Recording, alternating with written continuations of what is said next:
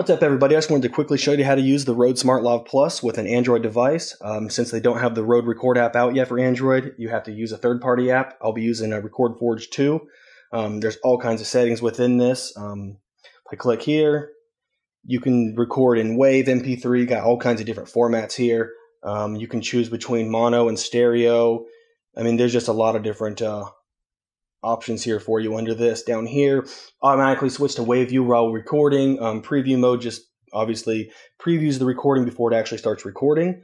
Um, I'll push play. It now starts previewing my audio. And now here when I push the check mark, now it's recording with the Rode Smart Lav Plus. Um, down here where it says negative 2 dB, you can adjust that gain accordingly to how uh, you want the audio to be. If you need it a little bit louder, go up here to plus 5, negative, uh, 2 sounds about right for me while I'm recording, um, especially after it's processed. It sounds really good.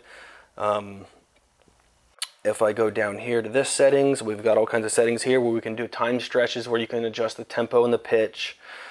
Um, loop selection, skip silence will ba is basically if you're doing interviews, um, you can go from anywhere from zero to 10 seconds and it will record and stop recording um, based on noise detection. So for instance, if I had it set to two seconds, it'll start recording two seconds before I start speaking, and then it'll stop recording two seconds after I stop speaking, which is very useful um, if you're doing like a lot of little interviews and stuff and you don't need big files. Um, you can set a recording time, you can schedule recordings with this. Um, here, if I go into my files, um, you can see the different files that I've got here, and still over here on the, on the sidebar, you can see uh, the levels that I'm recording at right now.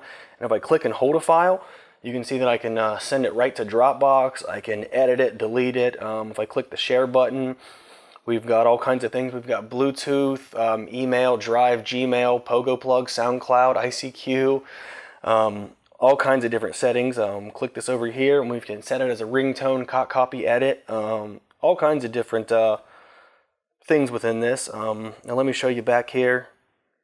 Let me uh, let's see, get out of that. Go back into my audio here. Now, when I stop recording, here we go. It'll stop recording and it'll give me the option. Now I can play it back. Um, obviously, I'd have to unplug the microphone to hear it. Um, when you push the X again, now it automatically pops up uh, in your folder. And once again, I can click it, hold it, upload it right to my Dropbox, and uh, download it on my computer, edit away, and I'm good to go.